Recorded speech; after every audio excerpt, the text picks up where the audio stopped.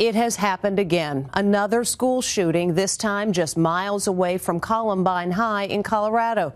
One student is dead, eight are injured, and two students are in custody awaiting formal charges.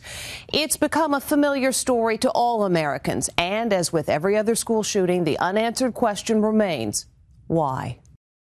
The student accused in the latest school shooting appears in court, his long black hair streaked with purple. 18 year old Devon Erickson kept his head bowed during the court hearing, except for a series of rapid nods when answering the judge. Police say Erickson had an accomplice.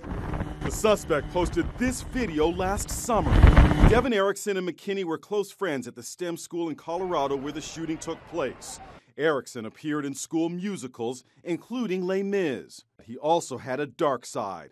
His car was spray painted with the words Blank Society. On the roof were the numbers 666 and a pentagram, both satanic symbols. We found this disturbing post on Erickson's Facebook page. You know what I hate? All these Christians who hate gays. The first report of gunfire came from a student. I see just a bunch of kids running out and saying, school shooter, school shooter. Is he inside the school still? Police were on the scene within two minutes. There's more gunshots coming from the office. I need medical here ASAP. I do have one teenage male, possible gunshot to the foot. One female, shot in her left leg. 18 year old Kendrick Castillo is being hailed a hero today. He was shot to death when he tackled Erickson as he tried to save the lives of classmates. His parents spoke to CNN. One of the kids told me that, like a flash, he jumped up. She said, You know, he's a hero. He saved me. Another hero is 18 year old Brendan Bialy, who risked his life to overpower the shooter.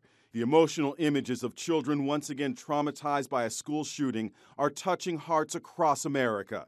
Teachers and students with their hands up, anxious parents waiting for news, and poignant reunions. Dylan! Love you, son. The school is only seven miles from Columbine High School, where 13 people were killed by two teenage gunmen 20 years ago last month. We're going to mourn, we're going to weep, we're going to take care of those who are down and pick ourselves back up.